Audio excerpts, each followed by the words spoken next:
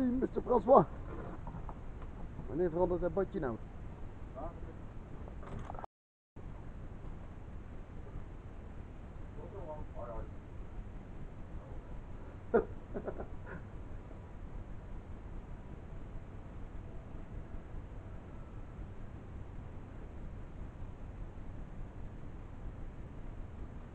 Vertel dat je op Facebook had gezien. Ik, je hebt je goed ingelicht, eh, ja.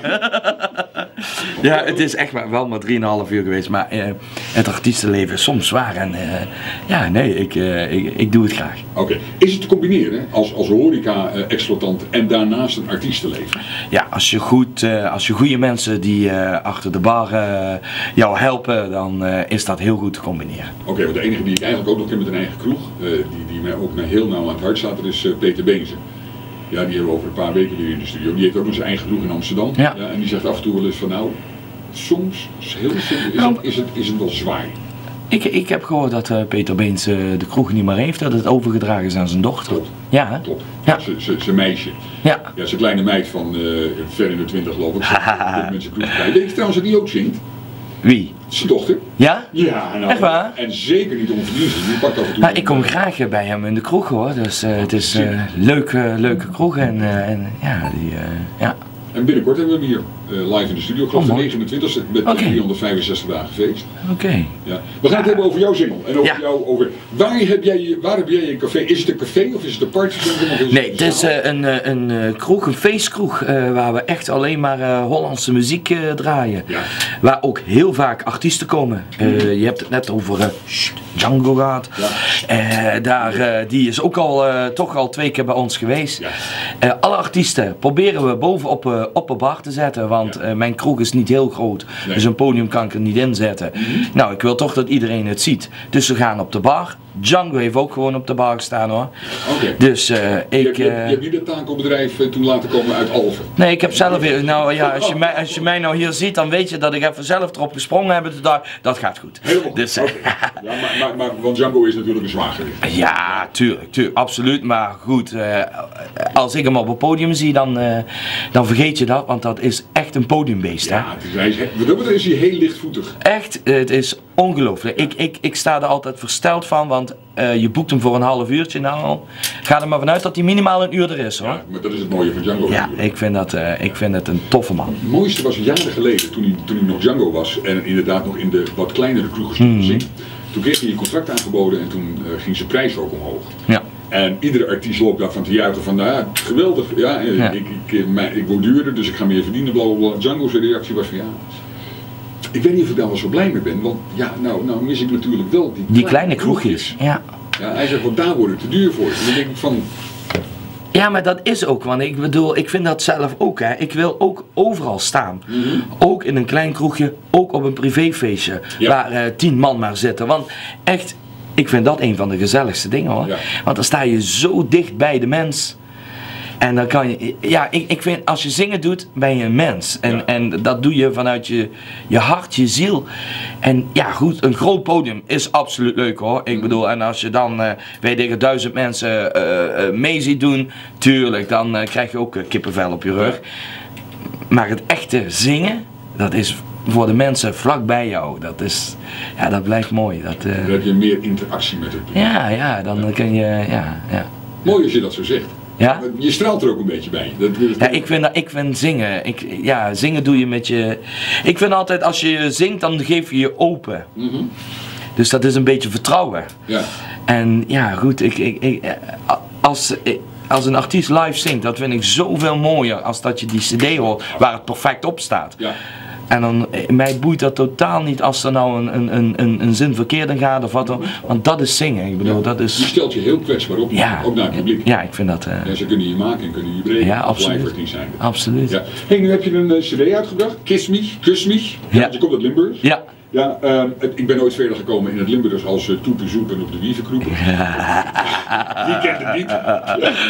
Ehm, al, allemaal eh, ehm, Limburgse nummers, mag ik het zo zeggen, met, met, met, met de Limburgse slang. Ja? Ja, alleen die laatste drie nummers die erop staan, die, eh, dat zijn in het Nederlands. eh, eh, dat hadden we, dat is een, mm, vorig jaar is dat gemaakt. En in januari kwam, waren we vijf jaar hadden we de kroeg open in Roermond. En toen kwamen Marianne Weber en John de Bever. Die hadden we geboekt. Ja. super mooi.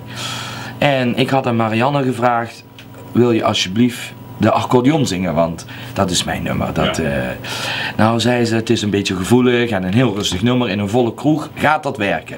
Ik weet niet als dat werkt, maar ze zei, ik kijk. Ja, Nou, na drie nummers had ze zoiets van, dat werkt toch. ja. Dus ze ging het zingen. Eh, en ja, ik, ik blijf altijd achter de bar bij de artiest. Ik vind dat een beetje. Dan hebben ze een gevoel van: oh, daar is iemand die erop let. Juist. Snap je? Ja, er komt niemand op de bar. Ja, snap je? Ik vind dat, eh, dat ze vrij kunnen zingen. En eh, ze hoorden mij zo op die achtergrond zo zingen. En toen zei ze, pak eens die microfoon. Ja, toen begon ik te zingen en toen had ze zoiets van, wow, want ik kan heel goed de tweede stem doen. Dus bij haar gaat automatisch de tweede stem. En toen zei ze halverwege het liedje van, deze het gebaar van, we gaan dat samen doen. Ja, En we hebben dat liedje verder afgemaakt. Eh, boven de zaak hebben we een woning. En daar laten we altijd de artiest even lekker, even relaxen. Weet je wel, even, eh, even wat drinken, even bijkomen. Toen zei ze, ja, daar moet je wat mee gaan doen. En toen heb ik haar verteld dat ik in het Lumburgs, al, dat doe ik al verschillende jaren. En toen zei ze, ja, eh, mijn zoon eh, Jeffrey die schrijft en die kan wel een liedje voor je maken. ja, zei, nou, met mijn kroeg, eh, en, eh, moet ik even kijken als ik dat wil. ja. Maar twee weken later, eh, toen eh, was er een liedje klaar. En toen zei ze van, ja, als je wil kan je het opnemen. Oké, en Jeffrey heeft het dus ook geschreven. Ja, Jeffrey heeft Ja, het geschreven. kijken. Ja, ja, ja, ja, hij heeft het ook geschreven, ja. En toen, ja, toen hebben we, heb ik er één nacht over nagedacht van, ja goed, want je moet het wel kunnen kijken dat het te combineren van, Ja. met je kroeg. En toen hebben we het gedaan en eh, daar komt, eh, hou jij de rekening mee. eh, en ja, dat gaat superleuk. Oké, hou je er rekening mee, is je eerste Nederlandstalige Ja, single. is echt, daar hebben we echt op, op Nederland gegooid. Hè. Ja. Dat is echt, ja. Oké, en als ik dat dan moet zien, is dit ook dat, dat je zegt van nou, hier ga ik mee verder. Dit heeft me gelijk mijn hart gestolen, dit soort... Ja. Ook zo dan. Nou, weet je wat het is? Ik, eh, eh, eh, feestmuziek, dat is altijd. maar ja, goed, wie weet, misschien in de toekomst een rustig nummer ertussendoor. Ja. ja, dat vind ik ook heel mooi. Oké, Dus ik, ik zit nog wel vol verrassingen hoor. top. Hey, nou is dit je eerste single, Ja. maar ik, ik, ik zeg altijd van, er zijn, wat eventjes hoor. Ja, en de grote. En dan leggen we hem ernaast. Hoppa. U Eh, een verzoekje aanvragen. Ja, nou, dat vraag. Dat in een gesprek. Eh, Zo simpel is het. Ja. Ehm, als ik ga kijken naar zangers en zangeressen, want die zijn ons altijd een paar stappen voor. Die hebben een single uit en dan is het voor hun alweer goud van oud, terwijl wij er nog volledig gaan moeten wennen. Ben je al bezig met het volgende project? Ja, ja. Eh, de, de, de tweede is sinds deze week in de maak. Ja, en de derde ook. Hoe goed kunnen we geïnformeerd zijn in Patrick? Ja, Facebook doet wonderen volgens mij, of niet? nee, weet je wat het is? Ik vind dat heel belangrijk dat eh, het publiek gewoon eh er mee... eh, ik, ja, de- van het publiek moet je het toch hebben. Oké, Dus ik vind gewoon dat die, dat die dat moeten weten. Dus ik zet dat altijd wel zeer snel op Facebook zo van... ja, er komt weer wat nieuws aan. geweldig. Tot slot van het interview, waar ben je terugvindbaar op de sociale media voordat we je nieuwe gaan Ja? Je bent me te zoeken. Ik heb een eh, nieuwe website, omdat eh, de ou- oude website was vooral eh, gericht op het Limburgs. Nu hebben we een nieuwe website en dat is www.patrickgerets.nl. Je kan me vinden op Facebook, ja, Twitter. ik, ik, ik zit midden in de media. Oké, dan heel even reclame maken voor je kroeg. Ja. Ja, want stel dat mensen zeggen van nou ik wil toch wel eventjes eh, richting Roermond komen rijden, want een kroegje waar alleen maar Nederlandstalige muziek gedraaid wordt, of we zijn er in de buurt. Ja, want artiesten die boeken we en die, eh, er is altijd vrije entree, dus iedereen is altijd Ja, dat welkom. Ja, ik vraag geen entree, want eh, ik vind het gewoon belangrijk dat iedereen binnen kan komen. Oké, En eh, ja, dat is www.cafecellamour.nl Selamour. Is Ja. het alleen s'avonds open of open? Nou, we zijn alleen maar in het weekend open. Want, Alleen in het weekend? Ja, ik eh, werk vier dagen ook nog gewoon voor een baas. En ik ben altijd heel nuchter en een, een kroeg is voor het weekend. De, Ja. de week is het niet meer. Dat is niet meer 30 Nee, jaar geleden. nee, nee. Dus eh, we doen het alleen het weekend, vrijdag, zaterdag en zondag. Nee, dan sta je echt voor je anderhalve paardenkop, sta je drie beeldjes. Ja, en ik vind je moet realistisch zijn. Dat Ja. is eh, niet haalbaar. eh, Oké, ja. Ik, ik ga zo meteen nog even met je praten, want er ontvlamt mij nog wat uh, privés in mijn hoofd, maar dat, dat, dat komt zo meteen wel. Dat is goed, dat is ja, goed. We zitten regelmatig in, eh, in, in de kanten van Limburg uit en zoek zoeken altijd een koffieadres in Je bent van harte welkom hoor.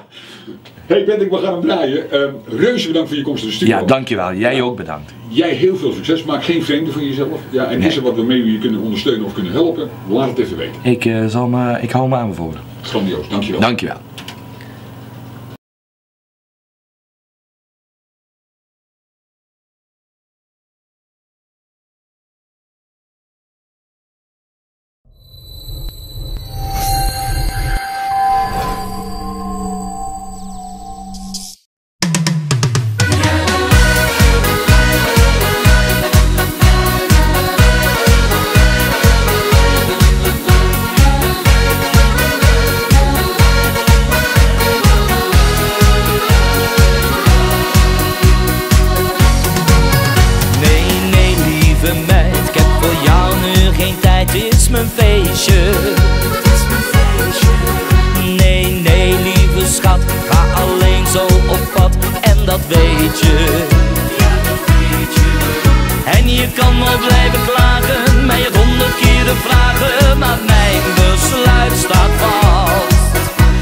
straks niet lopen bellen, want ik zal je vast vertellen, dan ben jij straks niet verrast.